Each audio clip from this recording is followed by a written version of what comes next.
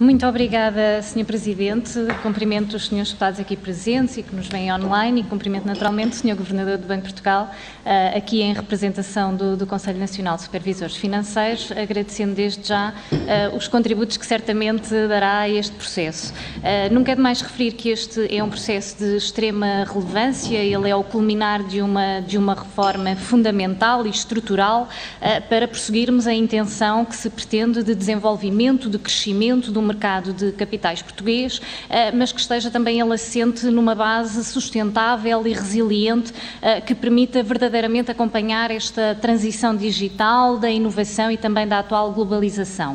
Acima de tudo, pretende-se proteger os investidores, a integridade do mercado, ao mesmo tempo que se respondem àquelas que são as reais necessidades de todos os participantes no mercado de capitais. Uh, Exige-se assim, uh, e é consensual, um quadro regulatório simples, harmonizado com as normas europeias, uh, para que seja um veículo em busca da competitividade que tanto, que tanto necessitamos para o nosso tecido económico, para a nossa retoma após a Covid-19 tendo em conta a especial vulnerabilidade uh, em que nos encontramos.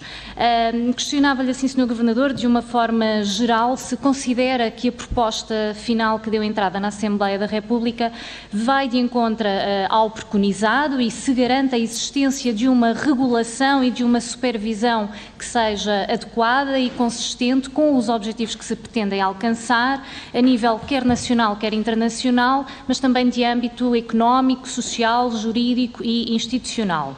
Eh, enquanto eh, organismo de coordenação e de interligação das diferentes autoridades de, de supervisão do sistema financeiro, questiono se o Conselho identificou eh, potenciais situações de desarmonização entre a legislação do setor bancário e do mercado de capitais com uh, o setor segurador e de fundo de pensões e se haverá aqui algumas questões que uh, será necessário rever para que haja esta conciliação entre, entre ambas as legislações e, no momento, ficaria por aqui. Obrigada.